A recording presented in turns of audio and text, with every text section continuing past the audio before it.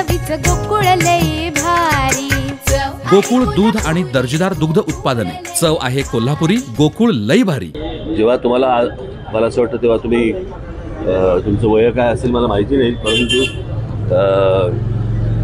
त्यांनी जो पहिला पुलोचा प्रयोग केला कळलं का? अठ्ठ्याहत्तर साली. त्यावेळेला काय केलं? असं कधी याच्या अगोदर महाराष्ट्रात कधी झालंच नव्हतं. त्याच्यामुळे या सगळ्या गोष्टींची सुरुवात पवारसाहेबांच्याकडनं सुरुवात झाली. आणि शेवट पवारसाहेबांकडे झाला.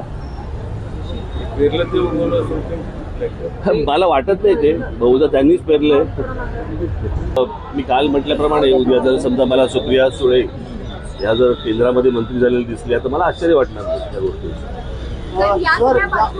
कारण ही गोष्ट काल काय अचानक घडली असं नाहीये ते.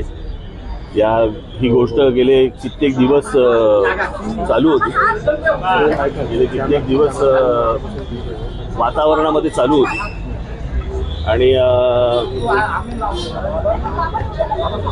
काल दिसली अ, सर गेले काही दिवस पुन्हा एकदा चर्चा जोर धरतीये. की गेले काही दिवस पुन्हा एकदा चोर चर्चाला जोर येते आवा की दोन्ही ठाकरेंनी पुन्हा एकत्र यावं. असे पावलं काही येत आहेत का? उचलली जात आहेत का? याच्याकडून अशी.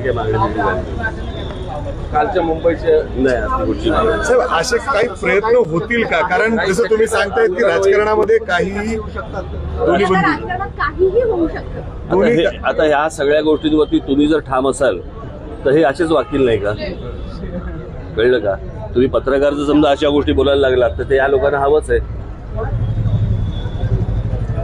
मला असं वाटतं तुम्ही कुठेतरी ठाम राहणं गरजेचं आहे. काय आव्हान करायला सगळं बघून मी मी माझ्या मेळाव्यात सांगेन.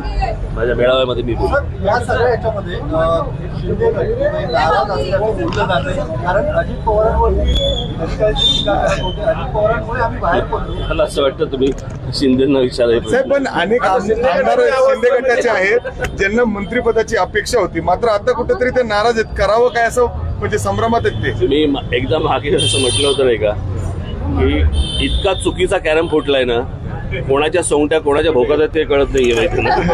म्हणजे मला असं वाटतं मी काल मी आमच्या लोकांना फक्त म्हटलं की तुम्ही लोकच आहात की जे ज्यांना सांगता येतं की हे महाराष्ट्र नवनिर्माण सेनेचे आहेत बाबू आगसकर कोणाचे आहेत महाराष्ट्र नवनिर्माण सेनेचे आहेत हे कोणाचे बाकी कोणाचा पत्ताच लागत नाही कोण कुठच्या पक्षात आहे. दुर्दैवी परिस्थिती आहे महाराष्ट्राची?